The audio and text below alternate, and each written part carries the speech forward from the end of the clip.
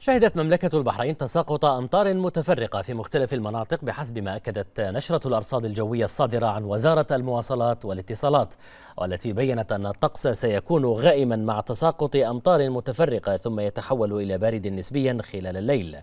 وبينت النشرة الجوية أن الرياح ستكون شمالية غربية بوجه عام تصل سرعتها إلى 30 عقدة خلال النهار مع انخفاض ملحوظ في درجات الحرارة.